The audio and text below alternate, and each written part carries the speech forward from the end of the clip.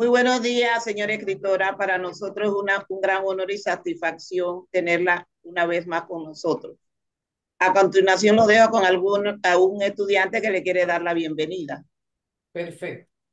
Buenos días, señora escritora. es para nosotros un gran honor tenerla aquí presente y estamos muy agradecidos de que comparta su valioso tiempo con nosotros para poder conocer un poco más acerca de esta interesante novela. Para empezar, me gustaría hablar un poco acerca de el mensaje principal de la novela. Para mí, el mensaje principal de esta novela es que a lo largo de nuestra vida nosotros atravesamos diferentes situaciones, algunas más peor que otras, pero que es la forma en la que nosotros aprendemos a sobrellevarlas y hacerle frente lo que importa.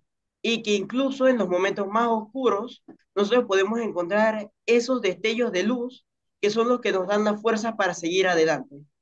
Pero no sé qué sería. Excelente, lo has interpretado muy bien. Aún en la oscuridad de la adversidad, porque la noche representa la adversidad. Siempre hay estrellas. Debemos elevar la mirada con esperanza al firmamento y ahí encontraremos las estrellas. ¿Quiénes son las estrellas? Nuestra familia más cercana y nuestros amigos. Esos que cuando tienes un problema permanecen a tu lado. Esos son tus verdaderos amigos. Pocos, no importa, pero verdaderos. Excelente la interpretación. Muchas gracias, profesora. Y yo quiero felicitar a la profesora y a ustedes porque le hicieron el esfuerzo por esta videoconferencia. Estamos en la era digital no se pueden quedar atrás. Estamos a la vanguardia de la tecnología y después de esto viene la era de la inteligencia artificial. Pero si se saltaron la era digital, va a ser casi imposible adaptarse a los cambios tecnológicos. Y ustedes van a ir a buscar trabajo y el jefe le va a decir, hágame una conferencia con la oficina en, en David. Ay, no sé cómo se hace. Ya ustedes vieron cómo hicieron los profesores y este es un nuevo aprendizaje que se incorpora para darles fortaleza y para capacitarlos aún más. Adelante. Muchas gracias. Muy buenos días, escritora. Mi nombre es Ahmed Barría y en esta mañana me gustaría preguntarle a usted qué papel desarrolla el pasado de cada personaje en el presente. En este caso me gustaría preguntarle más en base a la primera novela, La noche no dura para siempre ya que varias veces en la novela se ve que el pasado de Bachira como que a ella le interrumpía avanzar, pero ella pudo afrontar esta situación y avanzarla. Me gustaría saber qué opina usted sobre esto. Sí, el pasado trae consecuencias para el presente y el futuro. Por eso a la hora de tomar una decisión debemos analizarla, hacer un discernimiento qué es lo que más nos conviene. Pero una vez que te equivocaste o cometiste un error, solo te queda un camino, corregirlo y seguir adelante. Y la noche no dura para siempre, es una metáfora. La adversidad, los problemas no duran para siempre. Siempre verás el sol de un nuevo día, la esperanza. Muchas gracias por su tiempo. Ok. Buenos días, eh, escritora Rosemary Tapia. Mi nombre es Juan Diego Rodríguez Castro, del noveno C. Y mi pregunta sería, ¿cómo usted llegó a, o sea, coordinar los títulos, pues? Porque son realmente interesantes el contexto de los títulos, porque en la noche nos duran, la noche solo sean las estrellas. Eh, podemos dar a entender que aunque la situación sea más difícil, siempre puede haber una luz que de esperanza. Y en la noche no dura para siempre, podríamos eh, tomar en cuenta que al final eh, todo lo malo tiene un final y eh, viene el bien. Sí, mira, el, tocaste un tema muy importante, el título. El título de una novela es muy importante. Lo primero que ve el lector es la portada, lo segundo el título. Después voltea el libro para leer la reseña. Y si una novela tiene un título malo, la novela, aunque sea buena, nadie la va a leer. Nadie la va a leer porque es importante el título. El título tiene que ser un llamado a la lectura. Excelente pregunta. Gracias por su tiempo. Todos están muy bien preparados. Felicito a la profesora Rafaela y a la otra profesora. Buenas tardes. Buenos días. Vamos a esperar que la profesora admita que pida la solicitud al Zoom, pero me cierra la cámara. Buenos días. Mi pregunta es si José Daniel eh, realmente sentía amor por Bachira o nada más sentía amor física por Bachira, porque en la novela lo que se ve como que él la cambió muy rápido cuando se fue con Rubí. Él no la amaba.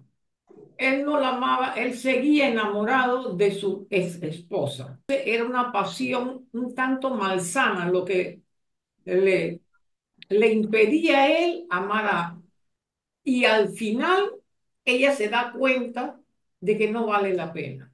Pero ustedes ven que después ella, en la otra novela, intercámbiense, intercámbiense las novelas, ella encuentra el verdadero amor.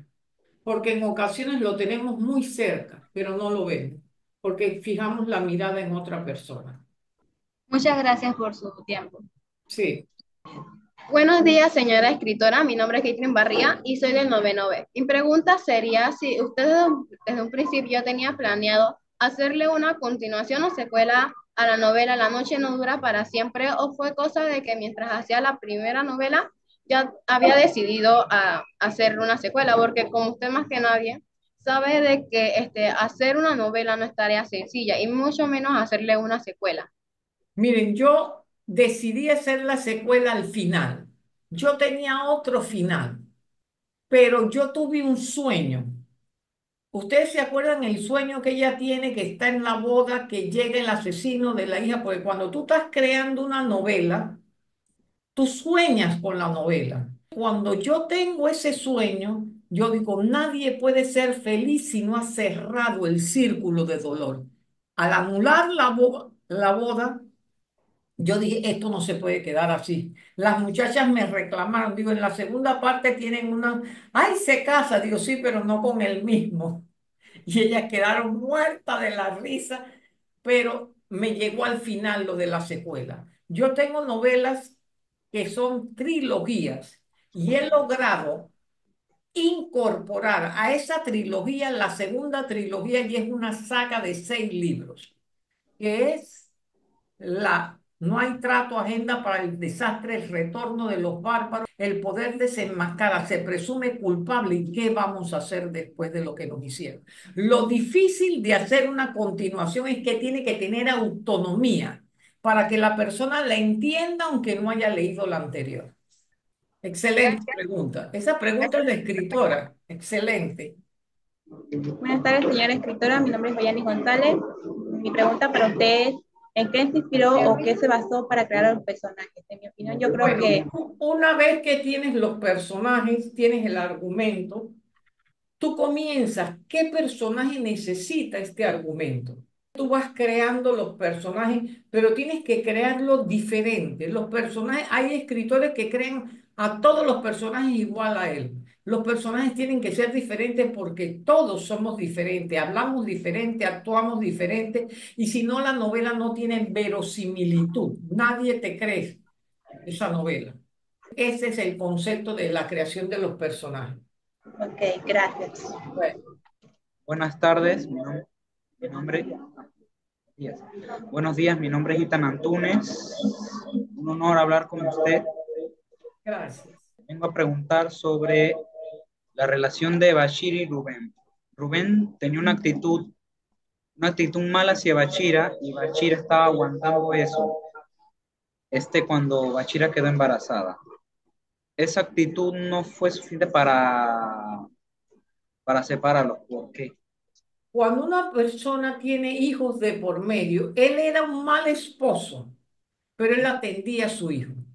Y ella se sacrifica, como hacen muchas mujeres, para no dejar al niño sin padre. Entonces, pero llega un momento que ya ella no soporta más esa situación. Y es cuando ella lo amenaza incluso con llamar a la policía, porque se da cuenta que era un delincuente.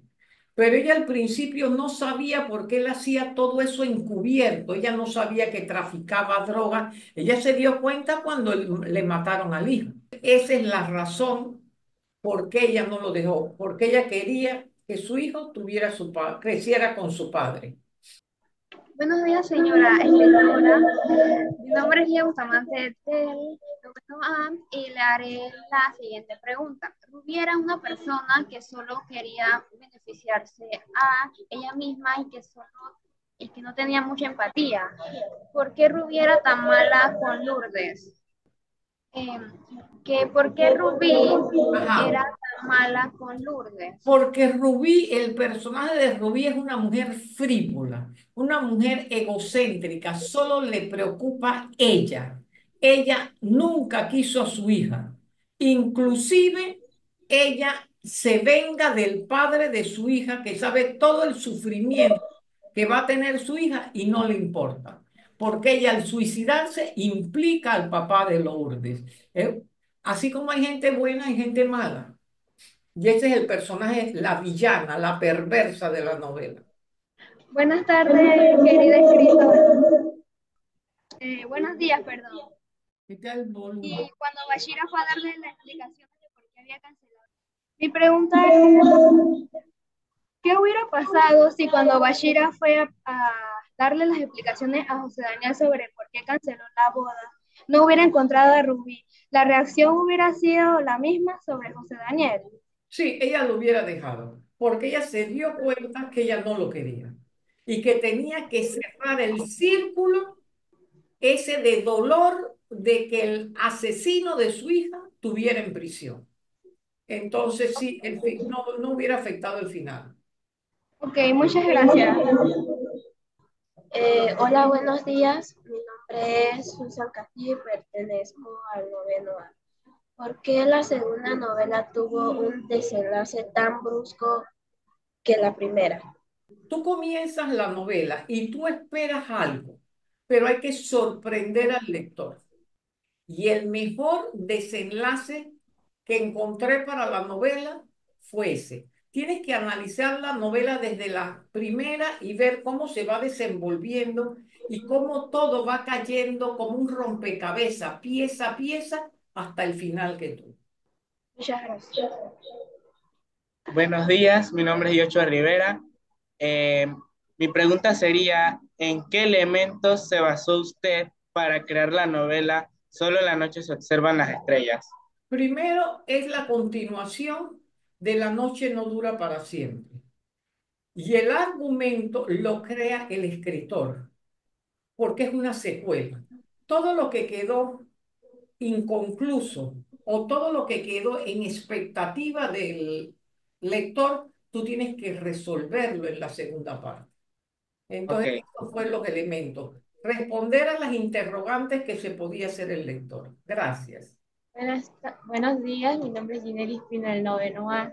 La pregunta que yo tengo para hacerle es, eh, Rubí eh, se suicidó en Solo en la noche se observan las estrellas.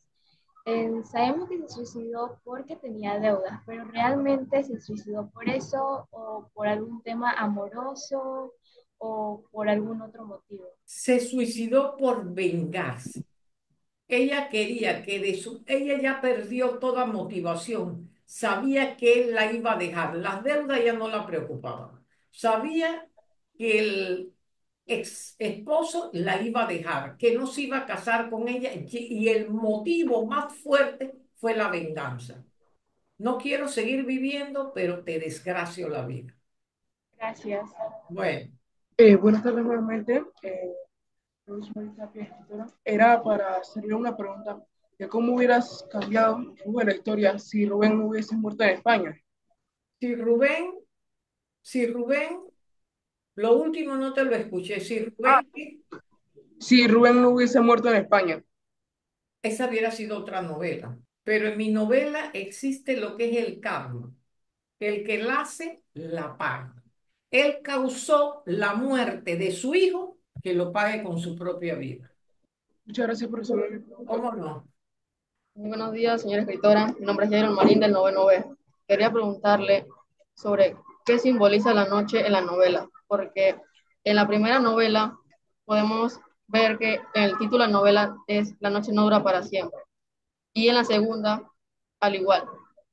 Esa es muy interesante la pregunta. La noche significa la adversidad. En las dos novelas, los problemas, la situación límite. Hay una, hay una obra de San Juan de la Cruz que se llama La Noche Oscura. Y en esa noche oscura del alma es cuando la persona tiene problemas y no encuentra salida. Entonces, en una, la noche no dura para siempre, no va a durar para siempre. Y la otra, incluso en esa situación, tú puedes encontrar las estrellas, que son tu familia y tus amigos. Gracias. Interesante la pregunta.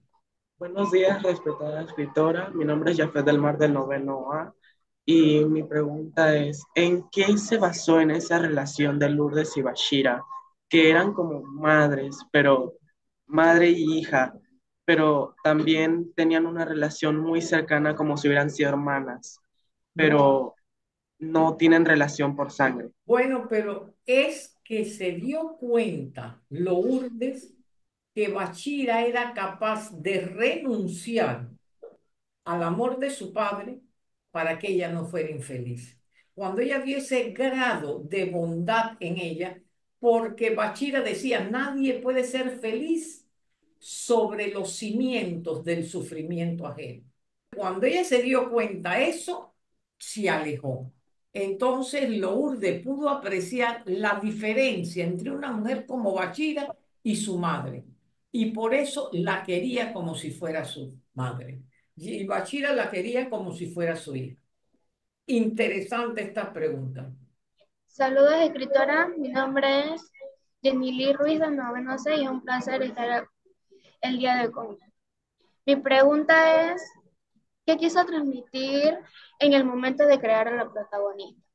Mi opinión es que quiso transmitir a una persona eh, fuerte y perseverante, eh, que a pesar de todas las dificultades que tenemos en, en nuestra vida, podemos, siempre habrá una, una, una luz que nos saque del camino de la oscuridad. Excelente, tú, la tú has dado la respuesta, la reincidencia de Bachira, que a pesar de que es abatida por el sufrimiento, ella sale adelante. Entonces, lo contestaste muy bien. Excelente. Esa es la respuesta. Em, ¿Qué factor fue importante para Bachira en el momento de que ella cayó en la depresión? En mi opinión, em, a pesar de que en los momentos de que estamos muy vacíos, en el momento de la pérdida, no le damos como mucha importancia, pero em, sí tuvo un factor muy importante eh, de que nos sentimos solos en esos momentos y entonces tener un apoyo en el momento de la pérdida es muy importante dentro de nuestra vida. Exacto, lo has contestado también muy bien. Tú te haces la pregunta y tú te la respondes y lo haces perfecto.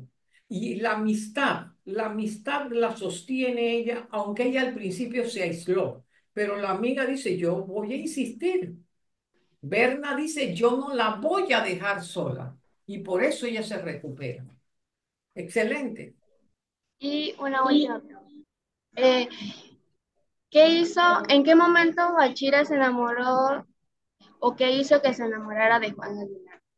En mi opinión, al pasar de una relación muy difícil para ella, eh, como dijo en la anterior pregunta, de que Rubén era una persona muy vacía, muy egocéntrico y frío, eh, me parece que se sintió apoyada y cómoda al lado de Juan Aguilar, a diferencia de su anterior relación.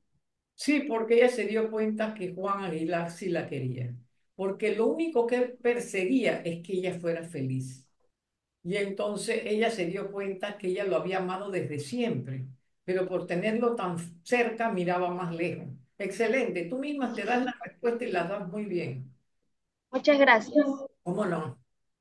Buenos días, escritora. Mi nombre es Yeriel Chávez y mi opinión sobre la superación de Bachira es que cuando Juan le demostró su amor, se lo confesó, el apoyo de él la hizo sentirse como nadie la había amado, apreciado, darle la atención que él había dado y luego formar una familia con él, ella pudo superar la muerte de su hijo.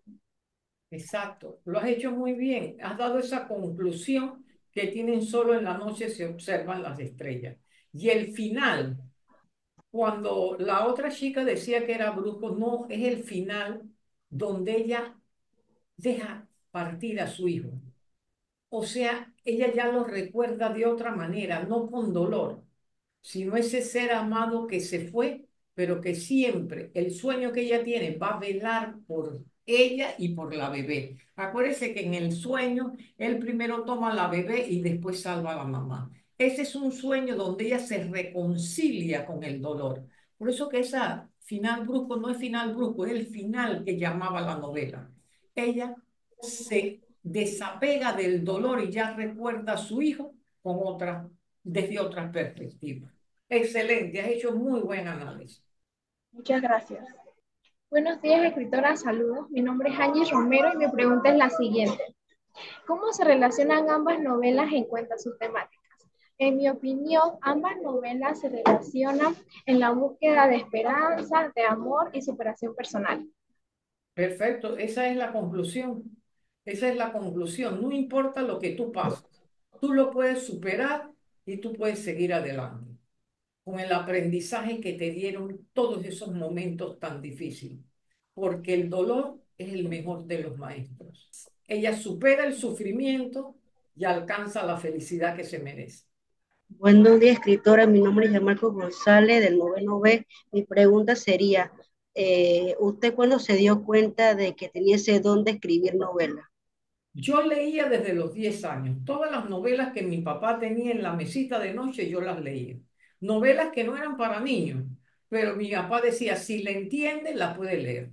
Yo tuve un profesor en tercer año de español, Roberto Carrizo. Nos explicó cómo se analiza una novela. Y yo a partir de ese momento yo dije, yo quiero ser escritora. Así es que la persona que me inspiró fue mi profesor de español. Así es que mucho oído con las profesoras de español porque ellas las pueden inspirar a que sean escritores. Muchas gracias. Buenos días nuevamente. Le haré otra pregunta. Si Bachira no estaba segura de haber superado la muerte de su hijo Arturo y aún así se plantó la idea de tener un amor con José Daniel, ¿por qué Bachira ilusionó a José Daniel hasta llegar al punto de una boda y después cancelarlo? Porque cuando tú sales de una relación tóxica como la que ella tenía con Rubén, tú buscas reafirmación tú buscas encontrar a alguien que te quiera. Por eso es recomendable que una persona que ha salido de una relación que le hizo daño, espere tiempo, porque el tiempo cura todas las heridas. Pero ella pudo recapacitar, ella se dio cuenta que ese no era el camino y cancela la boda. Tuvo el valor de cancelar la boda. Muy buenos días, escritora. Eh, soy José del noveno C y mi pregunta sería la siguiente. Si usted estuviera dentro de la novela La noche no dura para siempre, ¿qué consejo usted le brindaría a Bachir? En mi opinión personal, yo le brindaría el consejo que no se encuentra sola y que puede salir adelante y le brindaría mi confianza. Yo creo que yo tomaría el papel de Berna, la amiga que nunca la abandonó y que siempre la sostuvo, si yo estuviera en la novela. El escritor cuando narra una novela está en la novela y eso hace que ustedes se sientan que están dentro de la novela. Excelente. Muchas gracias. buenos días. Em, yo tendría una pregunta eh, que sería si usted tuvo algo o alguien en específico que se inspiró a crear estas dos novelas tan maravillosas. No, esa novela surge cuando yo estaba buscando un tema. Al buscar un tema, una persona que fue a la feria, que me dijo a mí, fue con la noche no dura para siempre. Rosemary, hace dos años mataron a mi hijo en un asalto y yo no he salido. Solo vine a la feria a comprar tu novela y me regreso enseguida para mi casa. Con esa conversación yo creé las dos novelas. ¿Cómo supera una madre la muerte de su hijo? Es casi imposible.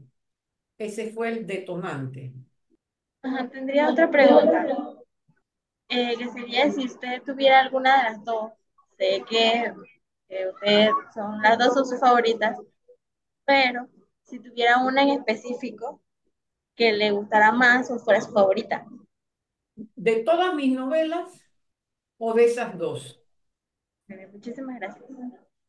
Buenos días, mi nombre es Johan González del noveno B y me gustaría preguntarle, para usted, ¿cuáles serían las principales dificultades a la hora de crear la secuela de la primera novela La noche no dura para siempre? Como lo dijo tu compañera, una de las aventuras más difíciles de un escritor es crear secuelas, porque hay un concepto, todas las segundas partes son malas. Yo quise quebrar ese paradigma y que la gente dijera, la segunda parte me gustó tanto o más que la primera parte, y eso es un reto. Yo tengo, y era lo que nadie creía diagnóstico NPI, la noche no dura para siempre, solo en la noche se observa la raíz de la hoguera, el crepitar de la hoguera y las novelas políticas que son dos trilogías. Eso es difícil, pero en eso están, superar los retos porque eso te hace crecer como escritora. Muchas gracias. Bueno, excelente pregunta. Buenos días, escritora. Mi nombre es Ahmed Barría, del 9 A mí me gustaría preguntarle para usted como escritora, ¿cuál sería la parte clave o la parte esencial entre las dos novelas? ¿Cuál sería el objetivo? La esperanza. Nunca debemos perder las esperanzas, porque cuando perdemos la esperanza, morimos espiritualmente. Toda persona que tiene esperanza, ese sentimiento la hace continuar, seguir adelante, superar el dolor. Entonces sería la esperanza. Muchas gracias. Buenos días, escritora. Mi nombre es Astriojo del noveno B. Mi pregunta es, ¿qué le inspiró el nombre del diario Mercurio donde trabajaba Bachira? ¿Fue un lugar que usted visitó? ¿El nombre le llamó la atención o algo en particular? No, es que yo estaba buscando el nombre para un diario y la primera persona, palabra que me llegó fue Mercurio. Por eso le puse el diario Mercurio. Ni sé si existe ese diario. Otra cosa, a los que no han preguntado, yo tengo un GPT personalizado con toda mi obra, mi biografía, las reseñas de los libros. Si ustedes se les quedó una pregunta o quieren saber de qué se trata otra novela, ustedes le piden a la profesora Rafaela el WhatsApp y yo les mando el GPT. Es una inteligencia artificial que está entrenada por mí para responder las preguntas. Bueno, mire, para nosotros ha sido una gran satisfacción y la verdad este, le pedimos disculpas por todos los inconvenientes. Los muchachos se han sentido muy motivados al escucharla, aunque pues todos no han tenido la oportunidad de hacerlo aquí en este momento por los inconvenientes tecnológicos. Así que muchas gracias por su valioso tiempo. Profesora, ellos van a escuchar el video, que lo compartan. Yo les mando el enlace como hice con el otro conversatorio. Y profesora, yo quiero felicitarla. Usted tuvo la persistencia de Bachira. Hay personas que a la primera dificultad te abandonan. Y yo si me tengo que quedar toda la mañana para que los niños no se vayan frustrados, los jóvenes, y me puedan escuchar y puedan ver el video, compartir este video que yo les voy a dar, yo me quedo toda la mañana. Usted es del equipo de las perseverantes, la felicito. Muchas gracias. Que pase buen día. Bueno, chao.